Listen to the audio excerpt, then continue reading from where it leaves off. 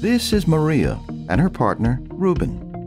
Before their day even starts, they are providing a detailed snapshot of their health and wellness to their network.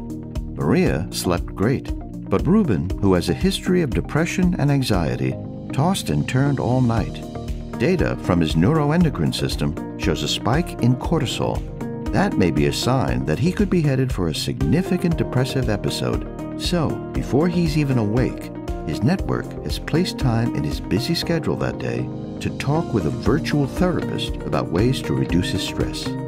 20 years from now, radically interoperable data and open and secure platforms will allow consumers to own their own journey of health, providing them with a holistic, real time view of themselves and their environment.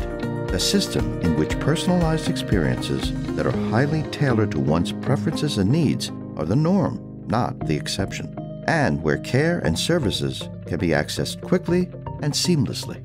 Consumers are increasingly willing to share their personal data through wearable technology, smart appliances in the home, and even with the home itself.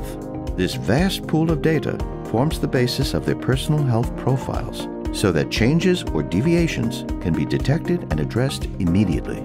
This information empowers consumers to take control of their well being in ways that were impossible in the past, whether it's proactively heading off depressive episodes for Ruben or getting Maria her time released antihistamine well ahead of a high pollen day.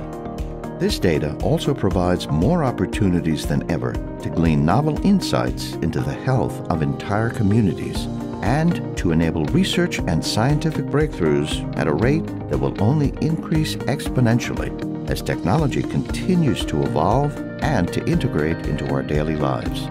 Tailoring care individually based on ever advancing capabilities to capture, interpret, and act on near perfect data in real time is a radical change. This change will require a complete rebuild of today's healthcare system and the collaboration of several actors, some old and many new.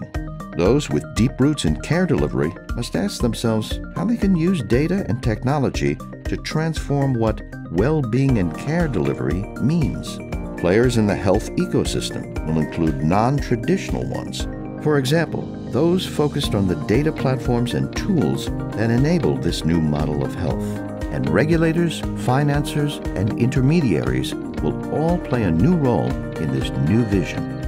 Disruptive thinking and a commitment to emerging technology are more important than ever before. Because the future isn't as far off as it seems. In fact, it's at your very fingertips.